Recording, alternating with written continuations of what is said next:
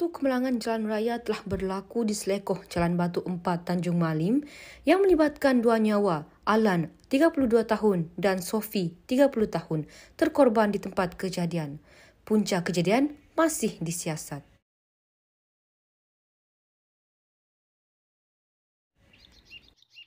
Salam sejahtera. Adakah ini Encik Polek? Ya, saya. Kami dari syarikat Sirna ingin memberitahu status permohonan kerja yang Encik pohon. Baiklah, tahniah daripada pihak kami. Encik boleh datang ke tempat kerja esok untuk lapor diri. Wah, terima kasih kerana telah menerima saya. Saya berjanji akan menjadi pekerja yang terbaik untuk syarikat Encik. La la la la la la la la la la la la la Polan kemudiannya bergegas ke pasar raya untuk membeli baju yang akan dipakainya sewaktu lapor diri pada hari kerja.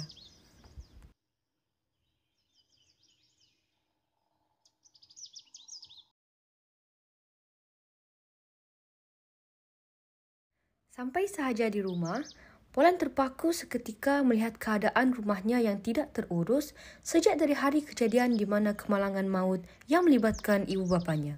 Aku perlu teruskan hidup. Polan mula bertekad untuk meneruskan hidup seperti sedia kala dan mula untuk mengemas rumahnya yang telah lama dibiarkan berselerak. Tiba-tiba, Hei, apa tu? Baik aku perbaiki. Mana tahu ada gunanya.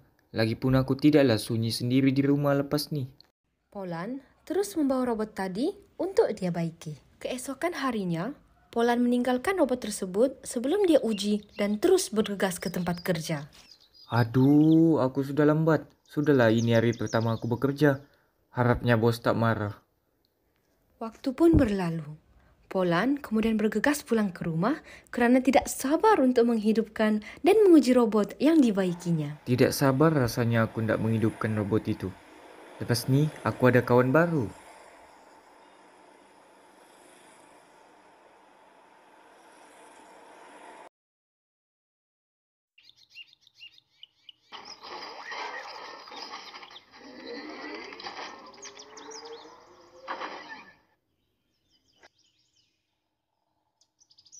Hai, saya Meta. Teman kamu setiap masa bila perlu sentiasa ada.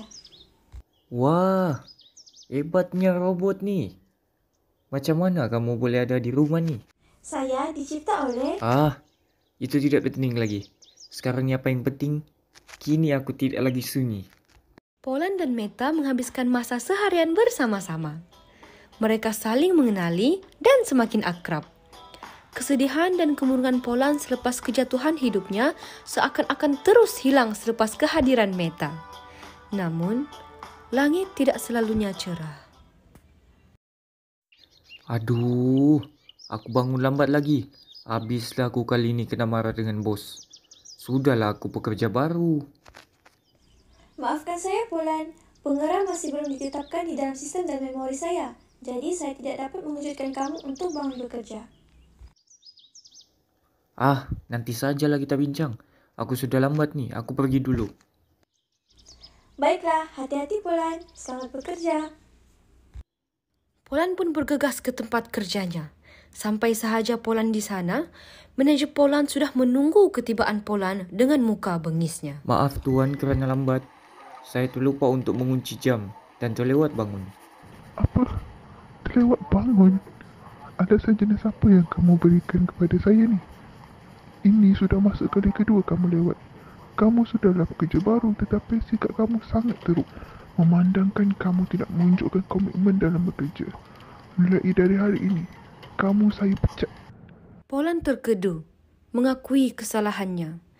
Dia pun melangkah keluar dengan berat hati. Hai, aku baru saja dapat kerja. Boleh aku simpan duit untuk kahwin dengan Sheila, tapi diberhentikan pula. Kalaulah semalam aku tidak bermain dengan Meta, mesti aku dapat bangun awal tadi. Polan terus mengeluh kecil sehinggalah sampai ke rumahnya. Kemudian, Polan duduk bersendirian. Meta melihat Polan sedang bersedih di ruang tamu. Meta pun kemudiannya terus ke dapur dan menyiapkan makanan untuk Polan. Mesti Polan ada masalah sekarang ni. Baik aku buatkan dia sedikit makanan. Mana tahu dia boleh gembira semula? Meta pun menyediakan makanan untuk Polan dengan harapan dia mampu menceriakan Polan. Namun, setelah Meta membawa makanan tersebut untuk Polan, Polan menolaknya atas alasan dia tidak lalu untuk makan dalam keadaan dirinya yang begitu. Hai, sudah lama aku tidak berjumpa dengan Sheila. Rindu pula rasanya. Apa kata aku pergi ke rumahnya hari ini?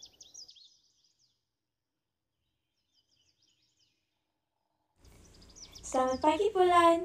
Saya sudah menyiapkan sarapan untuk kamu. Selepas bersarapan, ada apa-apa aktiviti yang kita boleh lakukan bersama? Eh, selamat pagi juga Meta. Wah, terima kasih Meta sebab sudah menyiapkan sarapan. Hmm, tapi saya minta maaf dengan kamu, Meta. Hari ini kita tidak dapat meluangkan masa bersama sebab hari ini saya tidak berjumpa dengan kekasih saya. Oh, kalau macam tu tak apalah Polan. Saya akan tetap tunggu kamu. Polan pun terus menghabiskan sarapan yang disediakan Meta. Kemudian, dia membuat persiapan diri untuk berjumpa dengan Sheila. Polan pun dengan perasaan gembira menuju ke rumah Sheila untuk membuat kejutan. Tiba-tiba, Polan ternampak Sheila sedang duduk berdua-duaan dengan seorang lelaki di sebuah restoran. Polan tanpa teragak-agak terus meluru ke arah mereka. Sheila, siapa lelaki ni? Eh, Polan. Hei, alang-alang sudah pecah temilang. Baik aku jujur. Dia ialah teman lelaki baru aku. Dia jauh lebih berjaya jika hendak dibandingkan dengan kau. Aku sudah tidak mahu dengan kau lagi. Mulai hari ini, kita putus. Polan terkedu. Sedih, marah, kecewa, semua bercampur. Namun, dia tidak dapat mengeluarkan satu perkataan pun kerana apa yang Cila katakan itu semuanya betul. Dengan perasaan yang malu, Polan pun pergi meninggalkan mereka. Sekali lagi, Polan sampai di rumah dalam keadaan dirinya tidak gembira. Meta yang sememangnya menunggu kepulangan Polan melihat wajah Polan yang sangat berbeza dari sebelum Polan meninggalkan rumah tadi. Meta pun pergi mendekati Polan. Emosi tidak stabil tidak baik untuk kesihatan. Apa kata kita bermain badminton di luar? Betul juga tu Meta. Lagipun sudah lama aku tidak bermain badminton. Lalu, Polan dan Meta pergi ke halaman rumah untuk bermain badminton. Gelak tawa mengiringi permainan mereka. Polan yang tadinya muram kembali ceria bagaikan tiada apa-apa masalah berlaku. Tiba-tiba,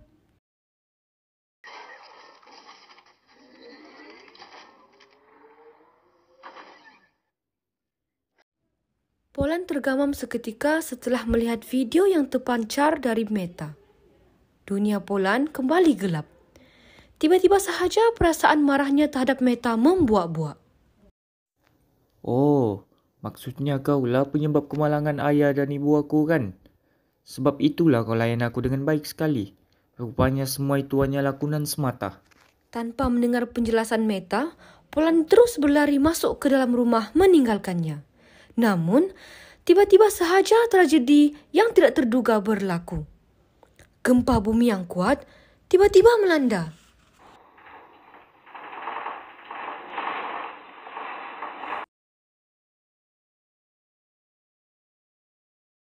Polan, satu saja yang kamu perlu tahu kenapa saya melayani kamu dengan sangat baik. Kamu adalah sahabat saya. Terima kasih untuk semuanya, Polan. Selepas daripada kejadian tersebut, Polan merasa sangat menyesal dengan apa yang dia katakan. Dia sedar bahawa Meta lah yang selalu ada dengan dia walau apa juga keadaan. Dia tekad untuk membaiki Meta semula dan akan lebih menghargai Meta selepas ini. Tragedi gempa bumi yang pernah berlaku telah mengubah hidup Polan. Pihak mediam dapat tahu bahawa Meta merupakan projek robot ayah Polan yang tergendala iaitu Guardian Robot yang dicipta untuk menjadi pelindung kepada tuannya. Tindakan Meta menyelamatkan Poland daripada runtuhan gempa bumi itu membuktikan bahawa objektif penciptaan robot itu tercapai.